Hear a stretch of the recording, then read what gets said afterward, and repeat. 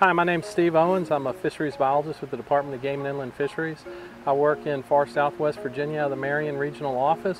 Um, today we're on the banks of the South Fork of the Holston River, which is uh, um, a premier trout stream located in uh, Smyth and Washington counties, Virginia. Uh, it's a unique uh, watershed in that we have trout habitat from uh, Sugar Grove and um, it extends about 30 miles to the headwaters of South Holston Lake.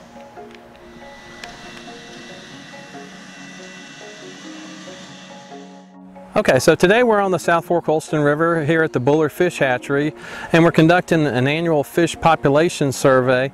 Um, we try to get out uh, in the middle of the summer, usually early July, and look at a lot of our trout streams throughout the area, just look at overall population numbers, look at trends, fish health. And what we're doing today is using uh, backpack electrofishing gear. We're able to put a, a mild electric current in the water, we're able to collect these trout and uh, it allows us an opportunity to get lengths and weight. Uh, today we also have our state veterinarian on site doing some wild fish health uh, monitoring and when we get done we're able to release the fish back in the wild for anglers to pursue another day.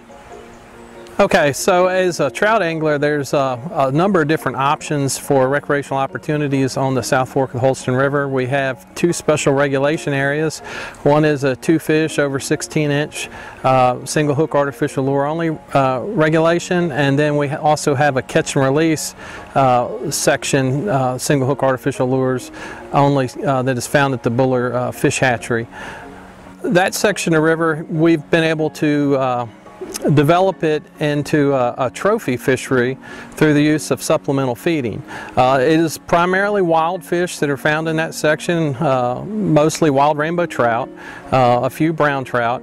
Um, but in order to capitalize on uh, uh, increasing productivity, we, we do do some uh, some feeding on a daily basis. It's allowed rainbow trout to grow up to four or five pounds and we've gotten some brown trout uh, in the seven, eight, nine pound range.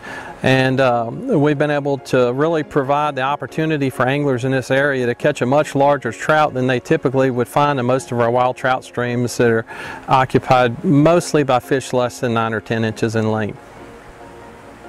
I'd like to encourage folks, uh, come visit Southwest Virginia. We have phenomenal trout fishing. Um, there's opportunities to fish for trout throughout the summer. We've got good flows and, uh, and uh, good populations of both wild fish and hatchery fish that uh, folks can pursue. So come on down to Southwest Virginia and, and, and enjoy yourself.